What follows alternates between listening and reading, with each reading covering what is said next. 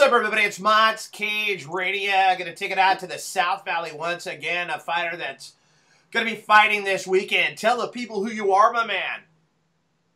Hey, Mott. Um, Sergio. And first of all, I just want to thank you for taking your time to interview me.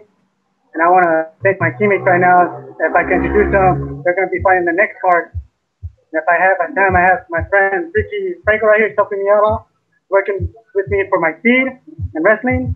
I got Pancho right here to help me out for more heavier people so I could make my fight easier. And I got Johnny right here helping me on my aggression over here. Always taking it out on me for some reason. Fight doesn't like me. Nice. And now let's talk a little bit about uh, your training. How long have you been training? Um, I was training for like two years off and on, Okay. but now I started sticking to it. So now I'm more committed to it now. Okay, so uh, how many hours a day are you training over there at Team KO?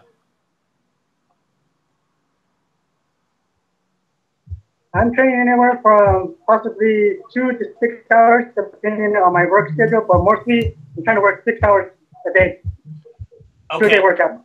Okay. One in the Now, afternoon and one in the now, are you cutting weight for this fight? Yeah, actually, I'm cutting weight right now. I'm actually pretty much in a good shape. I'm almost down to there. I'm only off by a couple pounds, like about three pounds, and I'm on weight. Okay, now uh, let's talk a little bit about the weight. Um, they weigh you in the same day and you fight the same day. Is that the deal? Yeah, they're gonna weigh us in approximately by noon at 12, Okay. and then we got six hours rest up, and that's when the fight starts at six o'clock.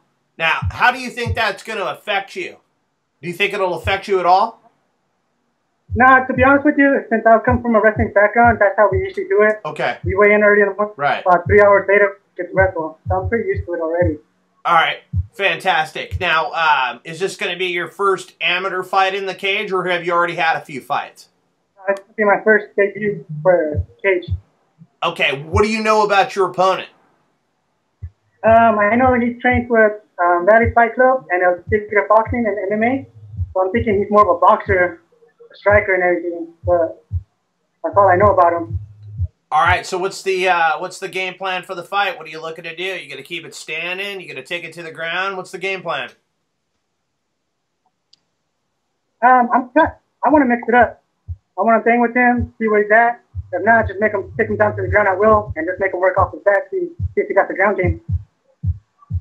Okay, now obviously uh, you got a lot of friends and family going to be coming out uh, to the Fresno area to see you uh, participate in this event. Does that make you nervous, or do you think that's going to get you fired up to uh, make it happen?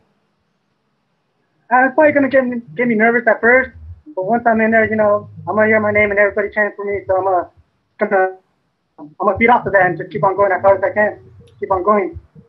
All right, so uh, tell me about the uh, game plan. I know you're not trying to look past your opponent this weekend and whatnot, but how many uh, amateur fights are you looking to do? Are you looking to turn pro eventually? And how many amateur fights do you think you need before you do make that step to the pro level? I'm try to keep busy as much as I can to, you know, sharpen up all my skills, jiu-jitsu, wrestling, and striking as much as I can. So once I make pro, I won't have no excuse of losing or nothing. Just be sharp, work on my condition and everything.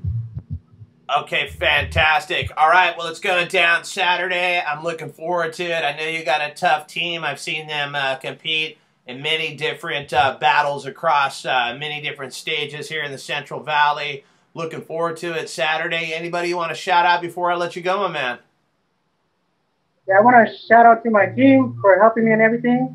Um, also our sponsors for helping the sponsors, and I want to thank you for giving up some time to do this interview on Cage Radio. All right, my man. And It's, it's going down Saturday. I'm looking forward to it, and I'll see you cage side. Good luck, and we'll see you then. All right, thank you. All right, Team KO, there you have it. Take care, guys. Thanks again. All right, you too. Take care.